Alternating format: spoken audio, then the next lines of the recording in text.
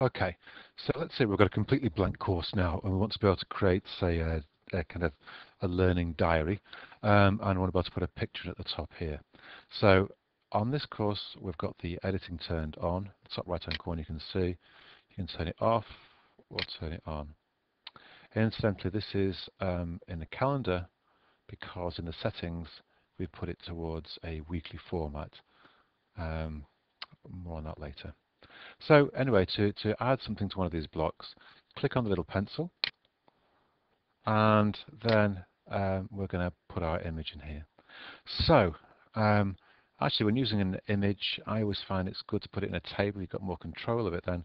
So I'm going to create a little table there, so insert table and I'm just going to have one row and one column in this table and I'm going down here I'm going to make the border thickness zero so it won't actually show um, and there we go. Okay, so there's a little table there, um, and that's where we're going to put our image. So on the um, icons up here, insert image is what we're looking for. Now I've not actually uploaded uh, an image to the web server behind, so that's what I need to do now. So I'm going to go and I'm going to go and choose a file that I want to upload. And then it's basically looking for where you've put it. And I think I've put it down here in my area. And there's one called um, Science Diary. Okay, so that's there, and I'm going to click on upload to upload that. Now that's now in um, our files behind the site. So I'm going to click on that now to show that I want that to be uploaded. There it is.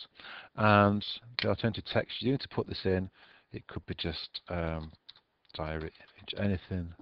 Um, so in, basically in case anyone that can't see your site can at least hear what's there. And alignment, I'm going to align this to the left. Okay. Right, good. Click OK. And that then goes in there. Save the changes.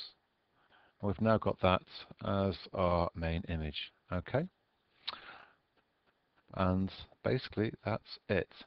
So just to recap, click on the little pencil to edit, then upload an image, and then just go and place it in there. And if we turn our editing off, the top right hand corner, that's how it looks on our page. Easy.